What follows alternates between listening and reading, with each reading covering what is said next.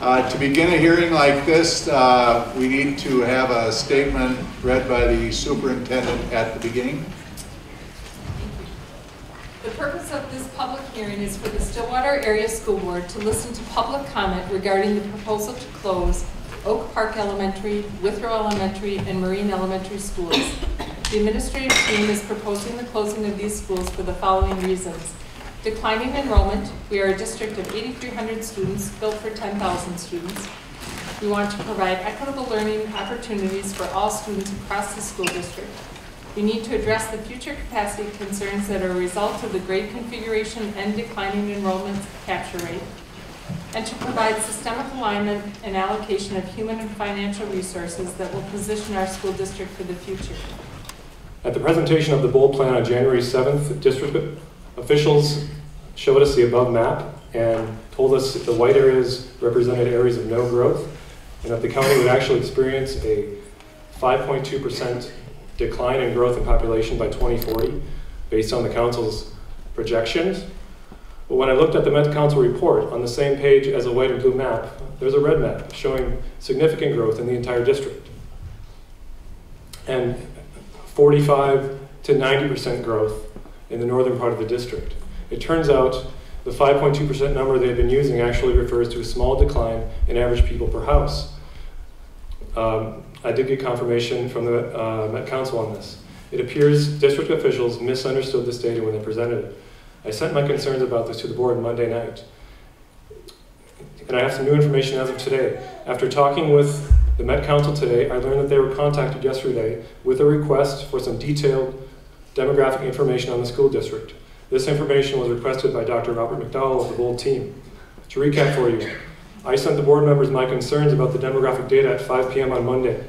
Tuesday morning, one of the main architects of the BOLD plan is then calling and emailing the Met Council for detailed demographic info on our district regarding projected population and households. Over the years, there have been, been many misconceptions about Withrow and its success. We have invited district staff, administrators, and board members to come and see what we're about and why we work so well. Those that do see the special place our school is, but unfortunately, many have not taken us up on our invitation, so I'd like to address some of these misconceptions. Number one is that our class sizes are small. When I started in 2010, our enrollment was approximately 130 students. The first grade class was only 13 students, but it was a true anomaly. When that same class moved on to junior high last year, it had grown to 21. Our enrollment has increased every year in every grade, and our classes all fall well within the district ranges, with most of our classes over 25. Uh, initiative, the district has provided a savings estimate of $1.2 million, with a million dollars in operational savings from closing the buildings, $120,000 in reduction of uh, full-time employees, 148,000 reduction in support staff. However, they have not accounted for the added cost to move the 700 kids to the remaining elementary schools. They haven't accounted for loss of students to other educational options, and have not accounted for costs to keep Oak Park open as that building's still going to be, um, $1.2 million savings estimate is flawed. They have not accounted for all costs associated with this, uh, with the closures, and there's going to be a net loss unless significant teacher layoffs are made. to attend these schools.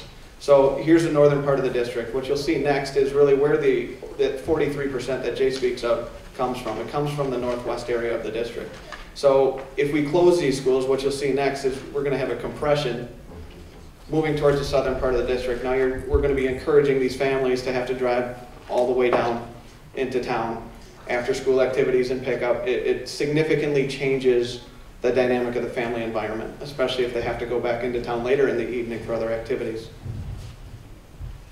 And here's the other challenge with it. Well, you have to take your kids towards town to go to work, to, to go to school. In order to go to work, many of these families who have come out to this area have to go back towards the Twin Cities to go to work. So it's not whether we want to send our kids to Stillwater. It's whether, the problem is, we, a lot of families can't continue to if they're enroll, open enrolling into the district. students. However, 30 years of national education literature proves that school consolidation does not result in increased access to student resources or better education opportunities.